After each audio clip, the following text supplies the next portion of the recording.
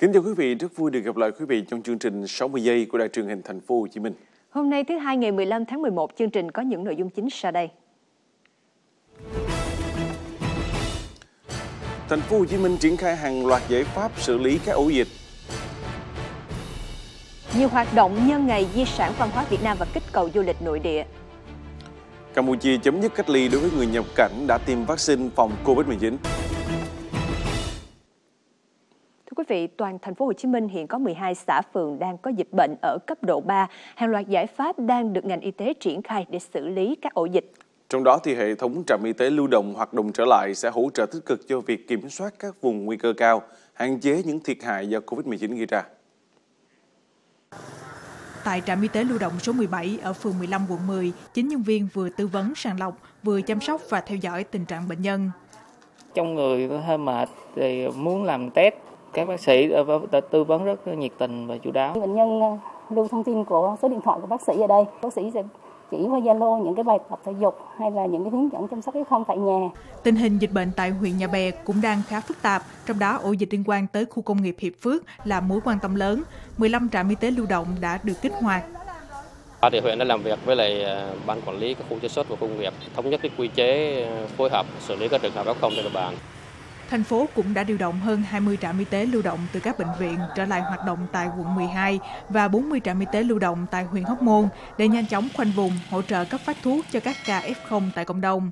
Trung tâm Kiểm soát Bệnh tật Thành phố Hồ Chí Minh cũng đã cử các đội phản ứng nhanh để giúp đỡ các địa phương. Các động thái này nhằm kiểm soát số ca mắc trong tình hình mới khi người dân đang tập làm quen với việc sống chung với dịch. Bệnh viện Chợ Rẫy Thành phố Hồ Chí Minh vừa được vinh danh và nhận được hai giải thưởng của Liên đoàn Bệnh viện Quốc tế IHF năm 2021. Đây là lần đầu tiên bệnh viện Chợ Rẫy đăng ký tham gia sự kiện lớn toàn cầu này. Từ ngày 8 đến 11 tháng 11, Đại hội Liên đoàn Bệnh viện Quốc tế lần thứ 44 đã được tổ chức tại Barcelona, Tây Ban Nha.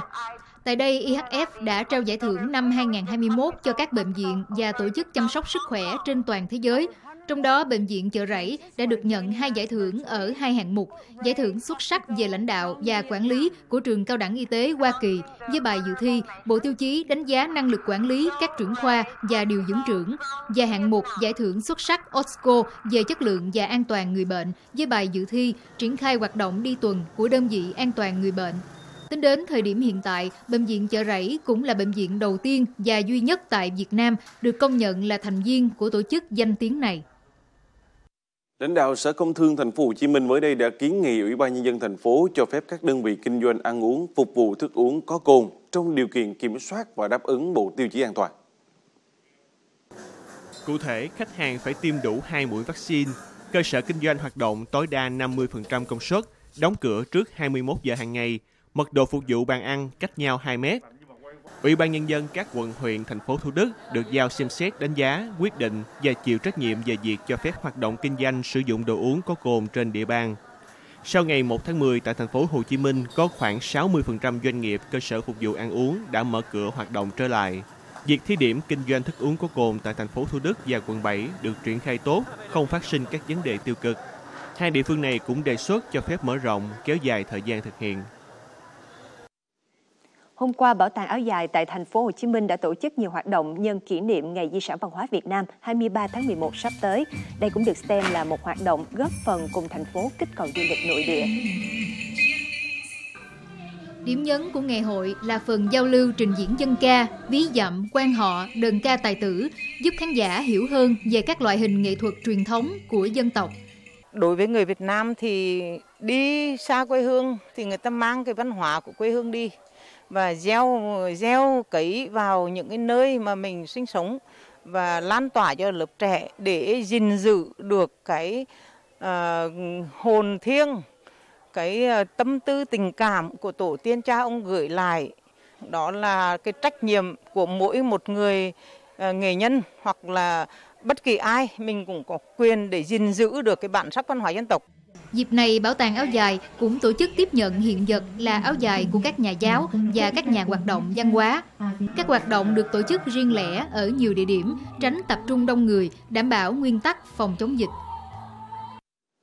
Theo thống kê của Hà Nội Metro, đơn vị vận hành tuyến đường sắt Cát Linh Hà Đông, trong vòng một tuần chạy miễn phí đầu tiên thì đơn vị đã thực hiện 930 chuyến tàu, chở hơn 165.000 lượt hành khách. Tỷ lệ khách xuất phát từ ga Cát Linh là 27,3%, xuất phát từ ga Yên Nghĩa là 24,2%, gần 50% chia đều cho 10 ga còn lại. Trong 7 ngày tiếp nhận và vận hành dự án, lãnh đạo Hà Nội Metro đánh giá máy móc thiết bị của tuyến Cát Linh Hà Đông cơ bản vận hành tốt, đúng theo tiêu chuẩn, chỉ có hệ thống phát thanh thỉnh thoảng trục trặc. Ở khâu vận hành, Hà Nội Metro đã có cơ chế phối hợp với nhà thầu trong trường hợp phát sinh trục trặc. Theo điều khoản hợp đồng, tổng thầu Trung Quốc có trách nhiệm bảo hành công trình thêm 2 năm tính từ khi bàn giao. Trong phần tiếp theo, Hỏa hoạn tại công ty sản xuất sàn nhựa, cả Bắc Giang và Bắc Ninh phải huy động lực lượng chữa cháy. tai nạn giao thông nghiêm trọng trên quốc lộ 1A khiến hai người tử vong.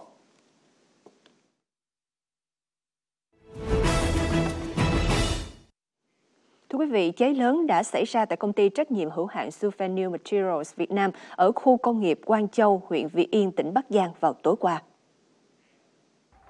Thông tin ban đầu đám cháy xuất phát ở kho nguyên liệu sản xuất của công ty vào khoảng 18 giờ.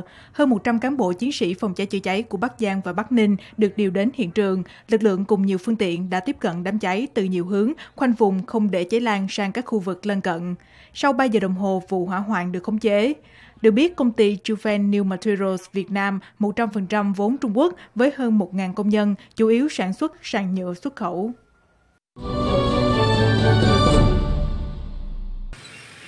Tại Bình Phước cũng xảy ra một vụ tai nạn giao thông chết người. Thông tin ban đầu khoảng 17 giờ chiều qua, xe bồn lưu thông trên đường DT759 hướng từ thị xã Phước Long đi tỉnh Đắk Nông.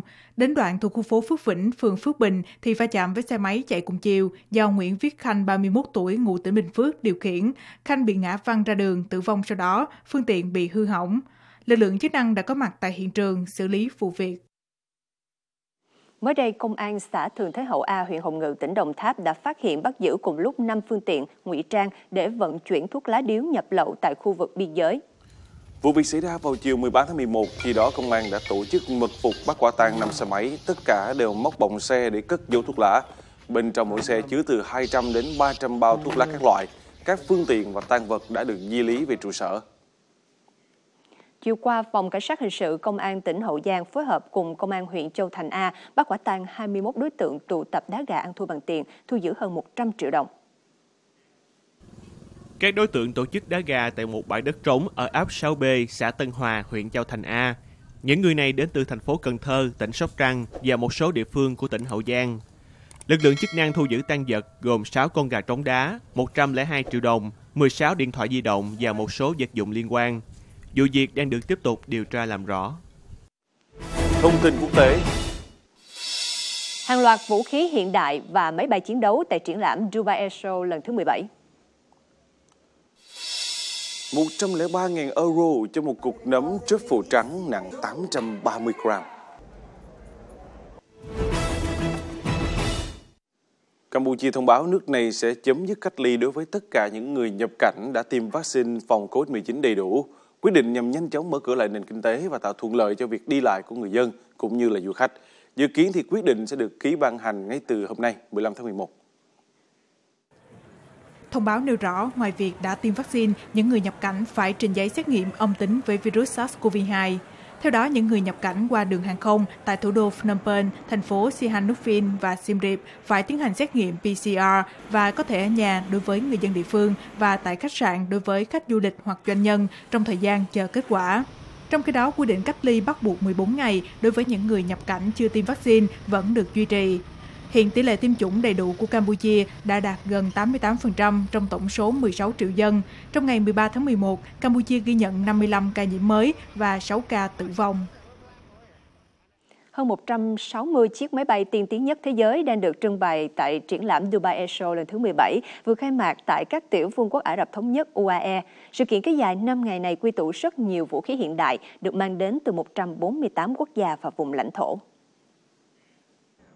Các nhà sản xuất máy bay trình làng những sản phẩm đáng tự hào của họ như nguyên mẫu chiến đấu cơ Checkmate của Nga, chiếc Boeing 777X mới nhất và chiếc máy bay phản lực Global 7500 của Bombardier. Do đại dịch COVID-19 đang bùng phát nên các cuộc triển lãm hàng không lớn như triển lãm hàng không Paris ở Pháp và triển lãm hàng không Farnborough ở Anh lần lượt bị hủy bỏ. Các nhà tổ chức tin rằng sự kiện Dubai Air Show này sẽ mang lại niềm tự tin cho thương mại toàn cầu cũng như thúc đẩy sự phục hồi bền vững của ngành hàng không thế giới. Là nơi cư trú của hơn 45.000 động vật biển, thủy cung lớn nhất Trung Đông đã vừa mở cửa đón khách tại thủ đô Abu Dhabi, các tiểu vương quốc Ả Rập Thống Nhất UAE. Một số loài mang tính biểu tượng của thủy cung bao gồm cá mập đầu búa và kỳ đà nước châu Á. Thủy cung được chia thành 10 khu vực phản ánh các sinh cảnh biển khác nhau trên toàn cầu. Trong số các khu vực quan trọng nhất của thủy cung là Butina, mô hình thu nhỏ của hòn đảo Butina ở Abu Dhabi, một khu bảo tồn thiên nhiên được bảo vệ mà du khách không thể tiếp cận. Nếu bạn muốn biết Butina trông như thế nào thì hãy đến đây. Chúng tôi đã tạo ra các thảm cỏ biển, chúng tôi có cá mập đầu búa và các loại cá khác giống như ở Butina. Tại đây, du khách sẽ có cơ hội khám phá môi trường tự nhiên dưới nước thông qua kỹ thuật kể chuyện nhập vai cùng công nghệ lập bản đồ 3D và thực tế ảo. Chen Jinji, một người thợ thủ công đến từ tỉnh Phúc Kiến Trung Quốc, vừa hoàn thành một mô hình từ 16.800 thanh tre nhỏ. Mô hình dựa trên vườn cây cảnh cổ điển Tô Châu, một kiến trúc lâm viên được UNESCO công nhận là di sản thế giới từ năm 1997. Mô hình tinh tế và đầy tính thẩm mỹ phương Đông này dài 160cm, rộng 140cm, cao 70cm, bao gồm 16 ngôi nhà với nhiều gian phòng, sân thượng và bậc thang. Chen đã thực hiện mô hình trong vòng 6 tháng mà không có bản thiết kế và không sử dụng keo dán hay một cây đinh nào. Toàn bộ tác phẩm được hoàn thành bằng kỹ thuật ghép mộng gỗ, một kỹ thuật thủ công truyền thống trong kiến trúc Trung Quốc cổ đại. Một tay tôi phải cầm thanh tre chỉ dài 0,5cm, tay kia phải dùng máy mài để tạo một góc 45 độ. Rất khó điều khiển vì nó quá nhỏ nên không thể cầm được. Được biết đến với cái tên Venice của Trung Quốc, Tô Châu nằm ở trung tâm đồng bằng sông Dương Tử. Nơi đây tự hào có những công trình được xây dựng bằng các kỹ thuật truyền thống được lưu truyền qua nhiều thế hệ. Một cục nấm truffle trắng nặng 830 gram đã được bán đấu giá thành công tại Italia với mức giá lên đến 103.000 euro, tức hơn 2,6 tỷ đồng. Nấm truffle trắng vốn rất quý hiếm, có mùi thơm nồng và vị ngọt kỳ lạ. Giá của loại nấm đặc biệt này không tương ứng với giá thị trường. Nguyên nhân của mức giá này được giải thích là do sự hiếm có của một cục nấm truffle nặng 830 gram, bởi vì nấm càng lớn thì càng có giá trị. Người mua là một đầu bếp Italia có sao Michelin, tên là Umberto Bombana, đang sở hữu một nhà hàng ở Hồng Kông, Trung Quốc. Nấm truffle trắng chỉ mọc ở một vài vùng đất hiếm hoi trên thế giới, trong đó có thị trấn Alba thuộc vùng Piedmont, Tây Bắc Italia. Cùng với những cuộc săn tìm kỳ công, nấm truffle trắng Alba quý hiếm được bán với giá rất đắt đỏ. Trong gần 90 năm qua, dùng Alba đã thường xuyên tổ chức những cuộc đấu giá nấm truffle xa xỉ như thế này. Thưa quý vị, thành phố Hồ Chí Minh đang từng bước nối lại các hoạt động kinh tế xã hội để thích ứng an toàn, linh hoạt trong tình hình dịch bệnh còn diễn biến rất phức tạp. Rất mong quý vị trong thời gian này vì sự an toàn của chính mình và người thân cùng nỗ lực giữ vững thành quả chung, thực hiện nghiêm 7 thông điệp của ngành y tế thành phố. Toàn dân đoàn kết chung sức đồng lòng đẩy lùi dịch Covid-19. Mỗi người dân là một chiến sĩ, mỗi phường xã thị trấn là một pháo đài phòng chống dịch Covid-19. Chủ động phòng chống dịch Covid-19 là trách nhiệm của mỗi người dân. Ý thức công dân, ý thức cộng đồng, chung sức chung lòng phòng ngừa Covid-19. Vaccine phòng Covid-19 tốt nhất là vaccine được tiêm sớm nhất. Tuân thủ quy định khi cách ly là góp phần làm giảm lây lan dịch bệnh cho cộng đồng. 5K cộng vaccine là phòng bệnh hiệu quả. Chương trình 60 giây sáng hôm nay xin được khép lại tại đây. Cảm ơn quý vị đã quan tâm theo dõi. Xin kính chào tạm biệt và hẹn gặp lại.